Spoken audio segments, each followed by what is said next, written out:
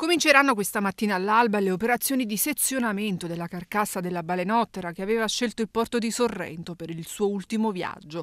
Maestosa, lunga come un palazzo di cinque piani, è stata scovata a 12 metri di profondità dai sommozzatori della Guardia Costiera ed era talmente grande che quasi non ci credevano, anche perché si aspettavano qualcos'altro, un cucciolo. Invece la balenottera comune, ritrovata morta nei giorni scorsi nel porto di Sorrento, è la più grande mai recuperata nel Mediterraneo cranio. La carcassa, che presto diventerà oggetto da museo, misura poco meno di 20 metri, cifra che batte il precedente record di un esemplare spiaggiato a Piombino nel 1990. Il cetaceo è stato trasferito nella notte tra martedì e mercoledì con l'intervento di uomini e mezzi della Capitaneria di Porto, che ha impegnato la direzione marittima di Napoli e gli uffici marittimi di Castellammare di Stabia e Sorrento.